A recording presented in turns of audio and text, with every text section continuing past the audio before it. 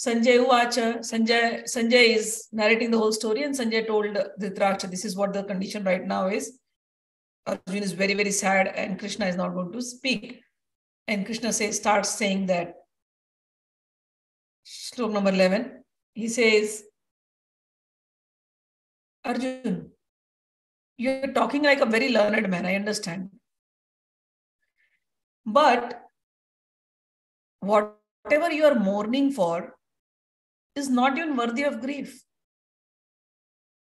What are you mourning? For, he says, the wise people do not lament, neither for the living nor for the dead. He goes on saying one thing, O Arjun, never was there a time when I did not exist nor you, nor all these kings, nor in the future shall any of us cease to be. O Arjun, we are going to live. I have lived, you're going to live. Everybody is going to live. So, first of all, Arjuna, Krishna and Arjun, they established the duality that Bhagwan is always there the Ansh of Bhagwan means the part of Bhagwan, that is us, living entities. Bhagwan, God is always there, and we are his part and parcel. We will always be there too. So, this duality, Bhagwan is ex- established. And before that, Arjuna also established the duality. Arjuna says, You are Guru, I am disciple. These two shlokas are very important here because there is a Brahmavadi explanation of this whole thing. Mayavadi, as they everywhere you will see they use the word Mayavadi, Mayavadi, Mayavadi. It is also called as Brahmavadi. In Brahmavadi explanation, Mayavadi, Brahmavadi is as far as the theory goes, it's the same. The names have been changed. When they say Mayavadi, it means the knowledge is there, but it has been covered by Maya. That is why the true knowledge that Bhagwan also exists and the living entity also exists. One is Paramatma, the other is Atma. They both will always exist. So this whole knowledge gets covered up by Maya, whereby they say Bhagwan is also Brahma. Brahma means formless. And Jivatma, living entity is also Brahma. You are also formless. When you become liberated, Brahma is a super conscious energy. That is why it is formless. You are also, as Atma, are super conscious, conscious energy. So you will mix up in that bigger super conscious energy and you will become one with him and, and you are liberated. So, so and then those people who, who believe in this theory, then they take it furthermore. They'll say, You are also gods. There is no such thing called God, separate concept. concept. Every human being is God. You are God. But here, this is not being established. God is God. Krishna is Krishna. Arjuna is Arjuna. Arjuna is not saying, the Brahma inside me wants the guidance from the Brahma inside you. Brahma means that formless, whoever, super conscious energy. Arjuna is not saying that. Oh, the Brahma inside me is confused. That God inside me is confused. Please, the God inside you, oh Arjuna, oh Krishna, let the God inside you give me the guidance. It is not happening like that, right? Arjun is a human being, is a living entity, just like us, and Bhagwan is acting like a human being, but he's not a human being. Bhagwan is Bhagwan, he's not human being. He has become a human being just for us, because that's the way he will reply. How will we understand? If he's some extra uh, human, you know, if he does not exist, if he's just a formless, we won't feel that nearness with him. That is why Bhagwan has become like us. People say Bhagwan is formless. He can create so many forms. He can't create a form for himself. Formless has taken so many forms. And he can't create a form for himself. He wants, he prefers to be formless. He can be both. He can be formless, he can be form form too. As we have taken a form, our Atma has a different body. And our outer body is different. We have taken a form. So here, the duality that Bhagwan is Bhagwan and Arjun is a living entity and he is he has become the disciple and he's asking Bhagwan, who is now right now acting as Guru, and he's putting his sincere queries, sincere question in front of him, and he's asking Bhagwan to guide. And Bhagwan now says, What are you lamenting for? Let me remind you, you always existed. I always existed. Right now, we both are in this human form. But I will always exist. You will also always exist. Then he goes on saying, the sadness, the grief that you're expressing is just like the seasons. O son of Kunti, the non-permanent appearance of happiness and distress and their disappearance in due course are like the appearance and disappearance of winter and summer. They arise from sense perception, O Bharata, and one must learn to tolerate them without being disturbed. So many qualities Bhagwan goes on describing for a sadhak. Here, one quality is described. For a devotee or for a practitioner, for a person who is walking in the spiritual path, one should know how to tolerate things and not get disturbed. If your mind is disturbed in lot of things, it will be very difficult for you to take this knowledge. So, under all circumstances, one must hear these words and tell yourself, calm down, calm down. Nothing is going to happen. Everything is going to be good. All is well. No matter how much things are going bad around you, no matter you're going to lose some of your loved ones, but the teachings of Gita prepare one for such situations. Nobody is going to die. Everybody's going to live. As the soul form, they'll keep coming. So there is nothing for which you should lament. Situations in life may be bad today, but good times will also come. Even in the bad times, there are so many other good things to look forward. So one must not get perturbed. One must not get disturbed. Under all circumstances, one has to remain equipoised.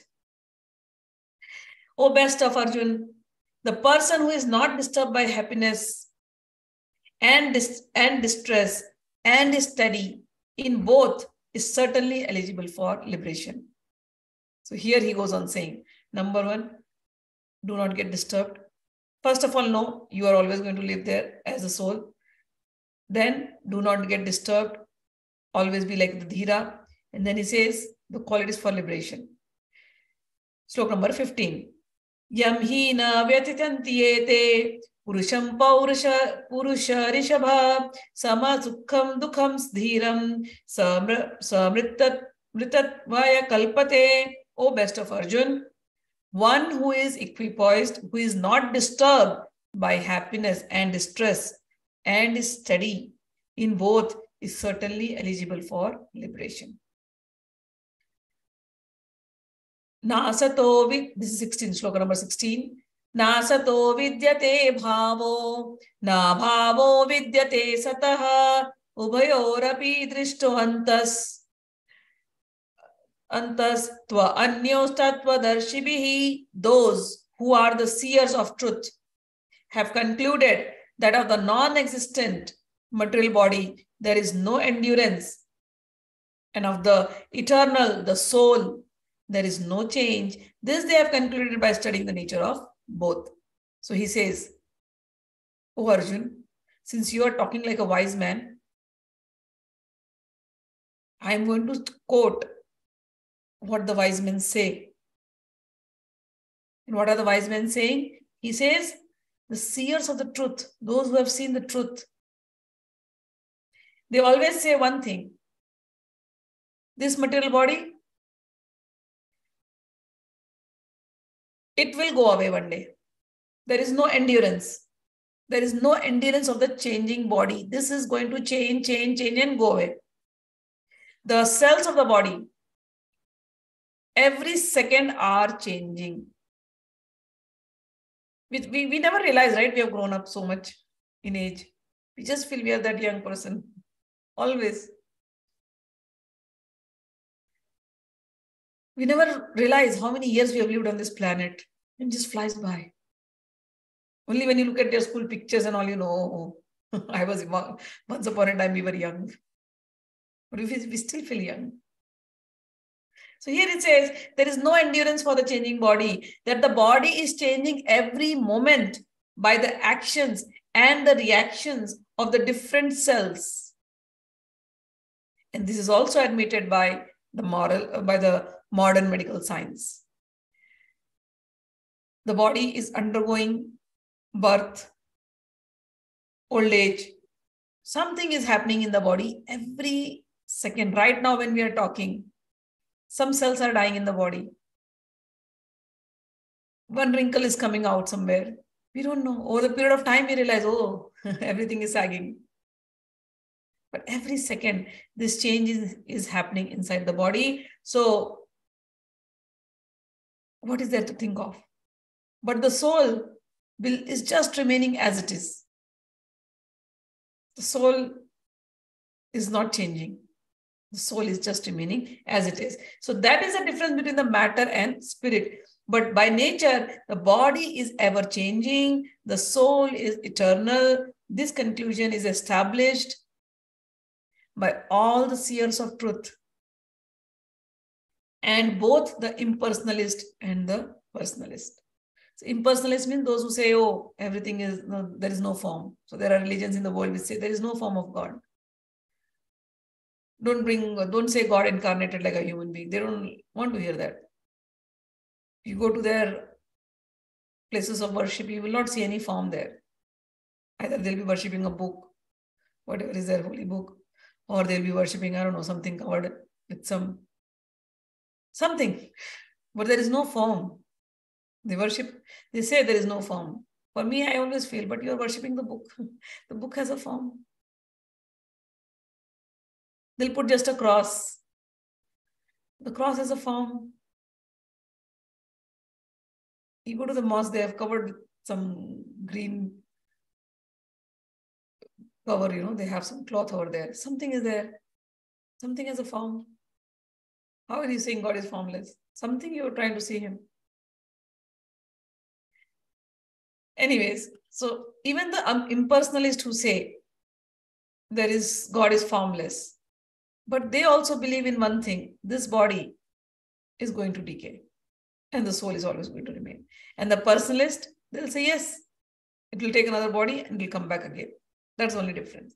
So the words existent and non existent refer only to spirit and matter.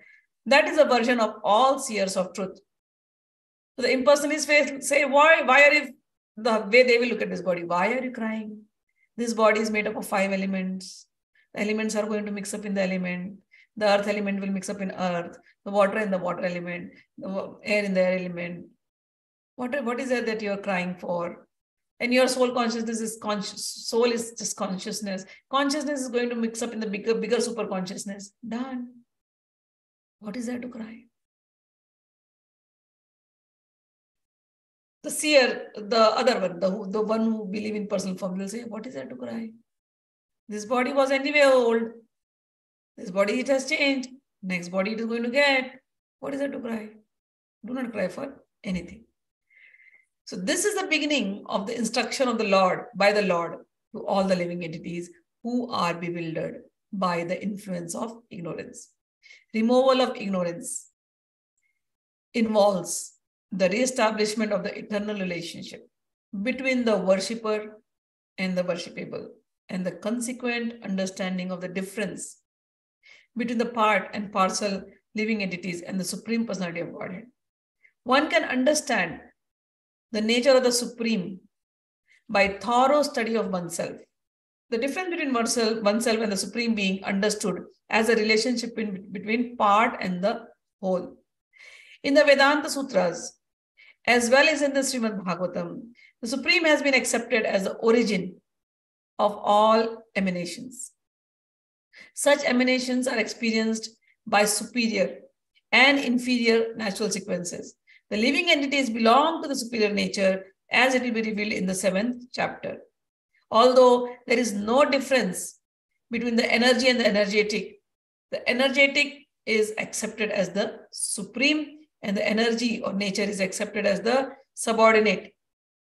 The living entities, therefore, are always subordinate to, to the Supreme Lord, as in the case of master and the servant, or the teacher and the taught.